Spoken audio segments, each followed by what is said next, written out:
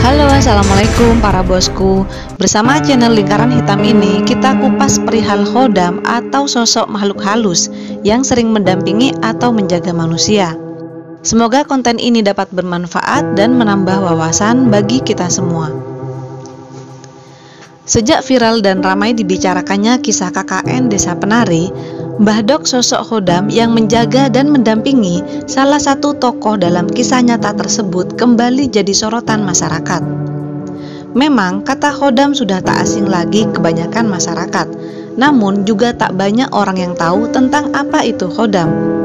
Khodam adalah sebutan untuk jin pendamping manusia. Jin Khodam masuk ke dalam kategori jin yang baik, pada kisah KKN Desa Penari, jin bernama Mbah Dok yang merupakan khodam dari diri Nur, berperan menjaga Nur dan temannya dari gangguan para jin di Desa Penari, hingga Nur dapat lolos menjadi tumbal Badarawuhi. Nah, Hodam tak hanya berperan menjaga dan membantu manusia, ada juga jenis-jenis Hodam pendamping yang bisa membuat pemiliknya menjadi kaya raya dan disegani. Tidak semua orang bisa memiliki hodam penjaga atau hodam pendamping, karena hanya orang-orang yang terpilih yang bisa memilikinya. Masing-masing orang memiliki energi hodam pendamping yang berbeda-beda. Hal itu tergantung jenis hodam yang mendampinginya. Jika energi hodam selaras dengan yang didampingi, maka orang tersebut bisa menjadi kaya dan disegani. Agar tak penasaran lagi, mari kita kupas lebih dalam dan inilah jenis-jenis penamaan hodam pendamping yang bisa menjadikan pemiliknya kaya dan berkarakter luar biasa.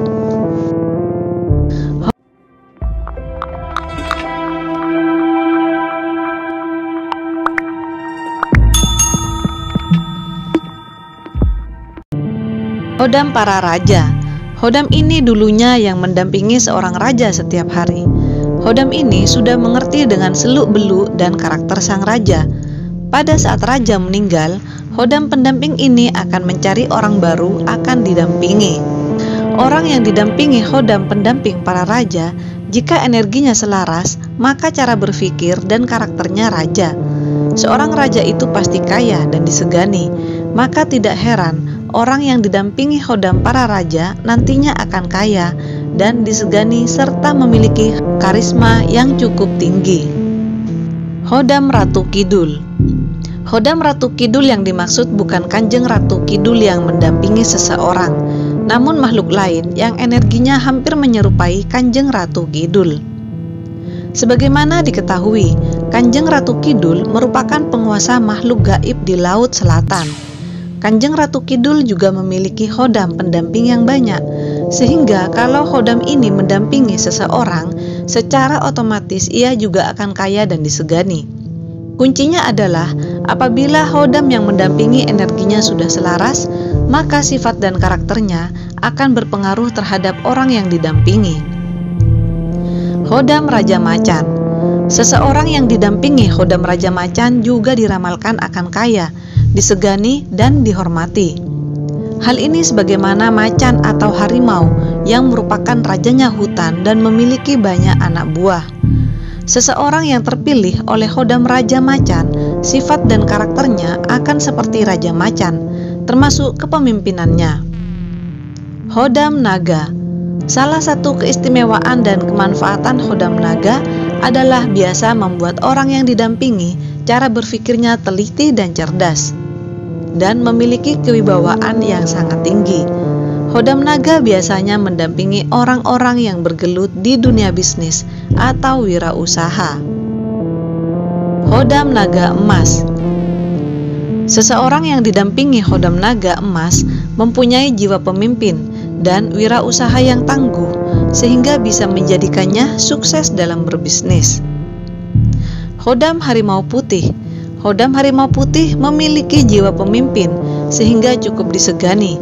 Dalam kelompoknya biasanya dijadikan pimpinan. Sehingga masalah kekayaan dan harta benda akan mengalir. Tidak semua orang memiliki hodam pendamping, hanya orang tertentu dan pilihan saja yang bisa memiliki hodam pendamping. Nah, Biasanya, khodam pendamping datang dari berbagai hal, seperti orang-orang sepuh atau kakek nenek yang sudah meninggal. Tujuan yang pasti yaitu untuk menjaga anak, cucu, maupun keluarga yang masih hidup. Untuk mengetahui jika ada khodam pendamping dalam diri, satu caranya adalah melalui mimpi. Mimpi merupakan bunga tidur yang pastinya pernah terjadi pada setiap orang. Biasanya terdapat lima mimpi serta artinya yang menandakan bahwa seseorang tersebut memiliki khodam pendamping. Satu, mimpi bertemu orang yang tidak dikenal. Mimpi bertemu orang yang tidak dikenal ini sering sekali terjadi. Biasanya, seseorang akan bermimpi bertemu orang yang tidak dikenal saat dalam keadaan terdesak maupun dalam keadaan berbahaya. Orang tidak dikenal inilah yang akan datang dan memberikan bantuan atau pertolongan saat dalam keadaan bahaya. Kemungkinan besar orang yang tidak dikenal tersebut merupakan sosok hodam pendamping Anda. 2 Mimpi bertemu dengan diri sendiri. Mimpi bertemu dengan diri sendiri juga sering terjadi di setiap orang.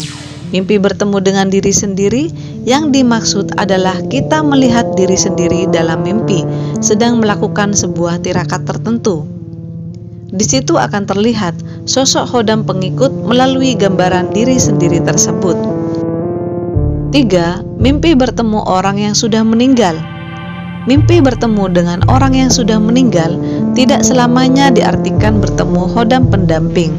Terkadang, mimpi bertemu dengan orang yang sudah meninggal bisa saja hanya sebagai suatu pertanda biasa. Tetapi, jika mimpi bertemu dengan orang yang sudah meninggal, yang dulunya dikenal sangat akrab ketika masih hidup, seperti sosok kakek atau sosok orang tua yang selalu sayang terhadap cucunya, Artinya, Hodam pendamping memilih untuk mewujudkan sosoknya menyerupai kakek atau orang tua tersebut.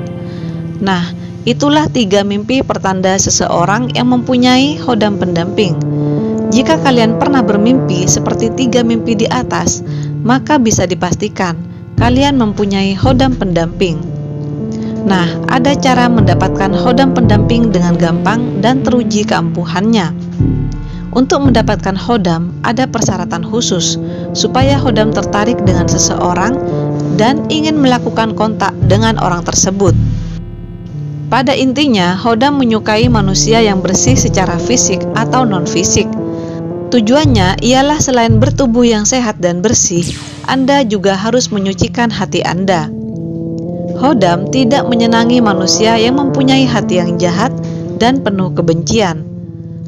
Namun, apa pun itu, kita jangan sampai terjebak dengan menduakan Tuhan. Kita harus tetap dan terus meminta hanya pada Tuhan, Sang Pencipta alam semesta.